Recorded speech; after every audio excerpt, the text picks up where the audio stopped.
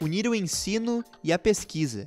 Essa é a principal missão do LARP, Laboratório de Análises de Resíduos e Pesticidas, que desde 2001 é referência em controle de resíduos em alimentos, solo e água. O LARP já tem 28 anos de existência é, e aqui no laboratório nós desenvolvemos métodos para que possam ser aplicados em amostras, em demandas né, de, de análises, que, na, principalmente na área de agrotóxicos, mas também de fármacos, hormônios e outros compostos contaminantes. A amostra chega até o laboratório e passa por esse equipamento. Depois, o resultado sai aqui. E aí, professor, me conta qual foi o resultado dessa amostra? Sim, é, aqui nós estamos vendo o, o digamos, a, o preparo do, do equipamento para ele, ele, reconhecer os compostos que a gente quer analisar.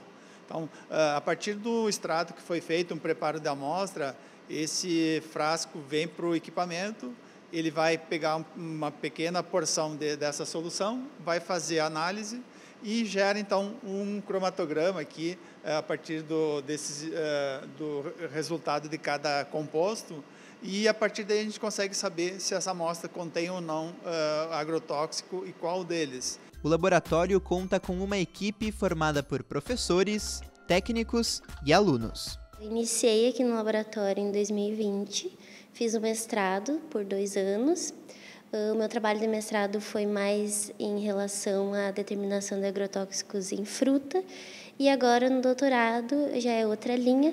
Estou tentando fazer um trabalho mais voltado para análise de agrotóxicos em peixe, que é um trabalho que a gente considera bastante importante, já que o peixe é um alimento que é bastante consumido aqui no Brasil.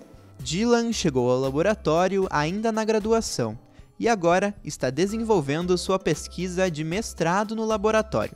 Eu tive uma cadeira com o professor Renato que ele falou bastante sobre cromatografia e essas áreas afins e eu achei muito interessante e entrei em contato com ele para justamente para fazer meu TCC aqui porque eu não tinha laboratório para fazer na época então a gente uniu o útil ao, ao aí eu tô aí desde, desde o TCC Está sendo um, digamos, um desafio agora, que também estou fazendo um desenvolvimento de método, é, fazendo agora um desenvolvimento de método para determinar hidrocarbonetos policíclicos aromáticos em erva mate.